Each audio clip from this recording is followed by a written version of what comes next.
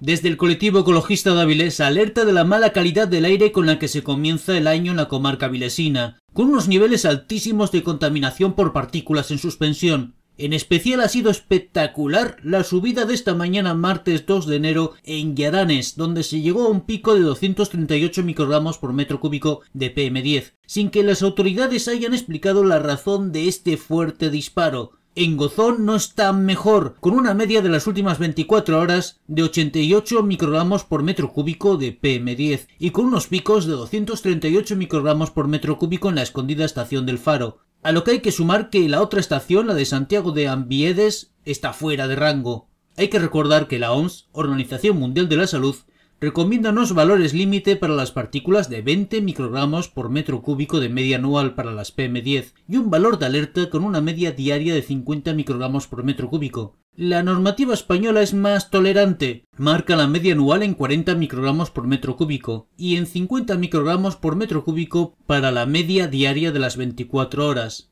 Como se puede ver, las estaciones citadas tienen unas tasas que superan ampliamente lo que marca la normativa española y lo que recomienda la Organización Mundial de la Salud.